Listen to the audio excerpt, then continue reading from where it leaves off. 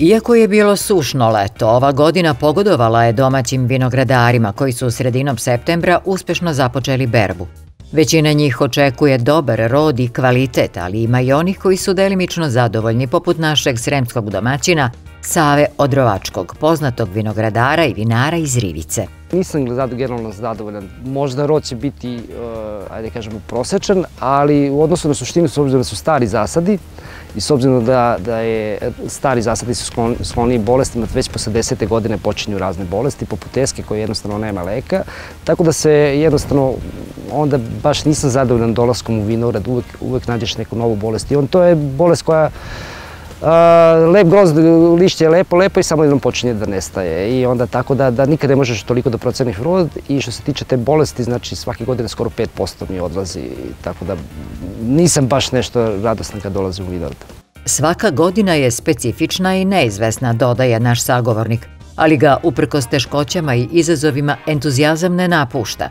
Stare sadnice obnovio je uvoznim sertifikovanim sadnim materijalom i nada se da će sa 3 hektara koliko trenutno ima pod vinovom lozom i naredne generacije odrovačkih ubirati plodove. Male domaće vinarije u Sremu još uvek prave pionirske korake i prema Savinom mišljanju treba će im još nekoliko godina da bi se ozbiljnije pozicionirali na tržištu.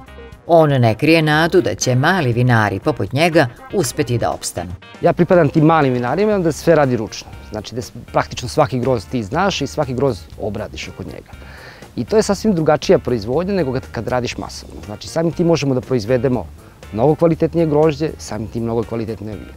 Kvalitet im je u prvom planu od samog zasnivanja zasada pre 30 godina – i sve svoje kapacitete, ljudske i tehnološke, podređuju njemu. Ono što je naš, ajde kažemo, kvalitet, pravimo zdrava vina. Ono što ta znači zdravo vino.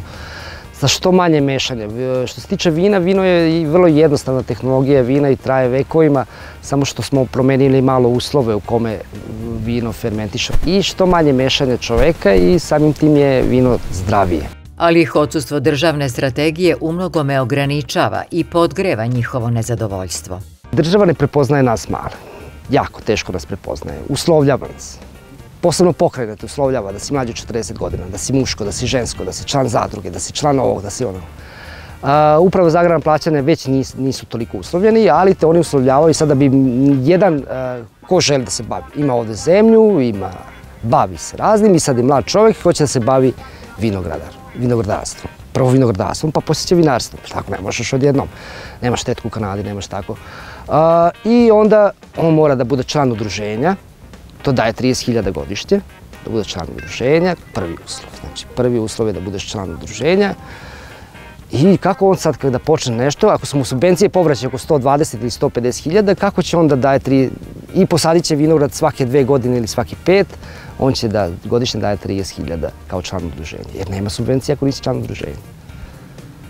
To je jedan od od velikih uslova. A sad da ne napravim druge uslove koje, su ti, koje moraš da budeš, da bi dobio moraš da budeš registrovan kao vinarija i tako, da bi dobio sudove ili tako nešto. Znači, prvo postaneš, e, imaš sudove, sve imaš, pa tek onda sadiš vinograd i kupuješ Mislim, nije uopšte logično. Dominantne sorte koje uzgajaju su vranac, cabernet, muskat hamburg i italijanski Riesling, – od kojih godišnje u svojim podrumima proizvedu oko 20.000 litara kvalitetnog vina, koje uspevaju da prodaju sa kućnog praga.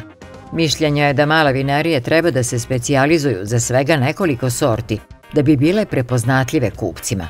Potencijalno razmišljaju i o uređenju degustacione sale, podruma za razvoj vinskog turizma, ali ih manjak radne snage limitira u tim ambicijama, te su odlučili da dugoročne planove zamene kratkoročnim i razvijaju se korak po korak. Domaćin će svaki znati dobar savjet se isplati sa novog portala Vreba Savjeti sa Agroneba. Posjetite ovog trena i nestaće ta dilema. agrosaveti.rs Sajt koji nudi odgovore.